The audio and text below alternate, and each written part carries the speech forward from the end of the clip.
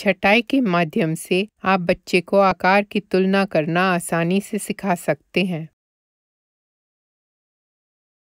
आप बच्चे को तीन आकार के कुछ कागज़ के वर्ग दे सकते हैं, छोटे, मध्यम और बड़े। सुनिश्चित करें कि प्रत्येक आकार में से कुछ हैं। तब आप कह सकते हैं, आकार के अनुसार इनको छांट दो। हम सभी छोटे वालों को एक साथ सभी मध्यम वालों को एक साथ और सभी बड़े वर्गों को एक साथ रखेंगे। आप पहले उन्हें दिखा सकते हैं कि इसे किसी एक आकार के लिए कैसे किया जाए। फिर वे अन्य आकारों को छांटने की कोशिश कर सकते हैं।